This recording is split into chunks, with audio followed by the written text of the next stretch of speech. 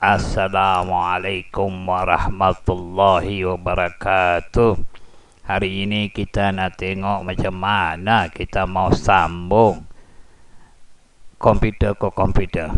Lebih senang kata network connection. Hmm. Yang ini kita komputer yang lain. Komputer kira partner lah yang tadi itu komputer saya. Yang ini komputer partner. Hmm, kita nak join komputer. Ini saya pakai team view. Kita tengok apa nak jadi.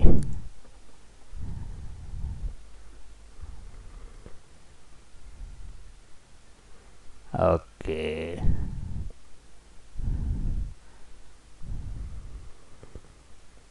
Kita tekan this PC komputer saya. Dia akan keluar.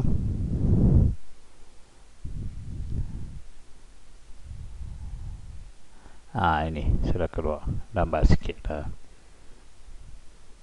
ok kita pergi cari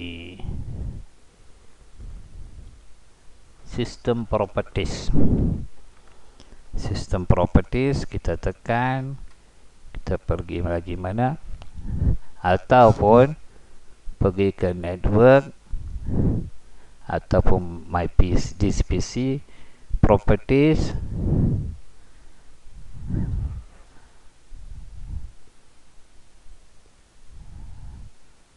Tak dapat pula.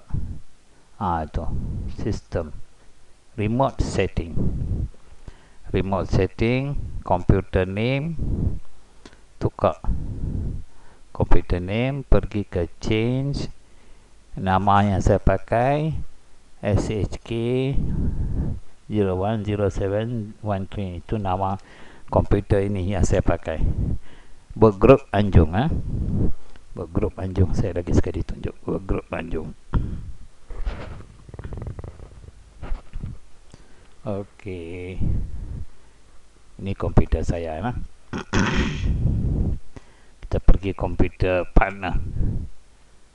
Kita tekan this PC tekan kanan properties remote setting. Remote setting computer name change ini pun uh, anjung work group anjung. Tapi dia punya computer name pep 002 ok tekan ok. Kita tutup kita ambil satu folder. Satu file lah. pergi ke network.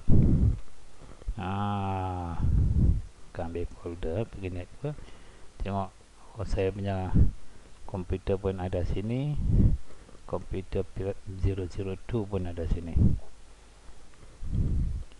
Ok ini komputer-komputer yang sambung. Ada link dengan komputer ni tengok kalau tekan sana tadi saya ulang balik ya tekan itu file-file yang sudah sudah share. Ha, ini folder-folder yang kena share. Macam mana nak share folder Okey, kita pergi data SMKB. Ah, ini folder yang sudah share. Ada yang read, ada yang read and write. Okey, kita pergi ke network.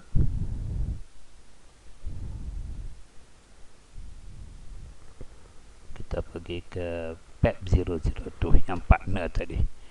PEP 002 ada ada folder pep 00 tu yang sudah di share.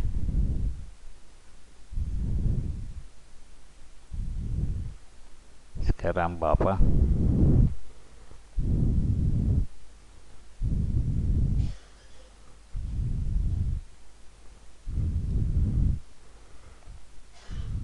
Ah, habis kita akan sambung dengan uh, you YouTube yang lain, video yang lain yang nama Network Connection 2. Ini Network Connection 1. Sekian, terima kasih. Assalamualaikum warahmatullahi wabarakatuh.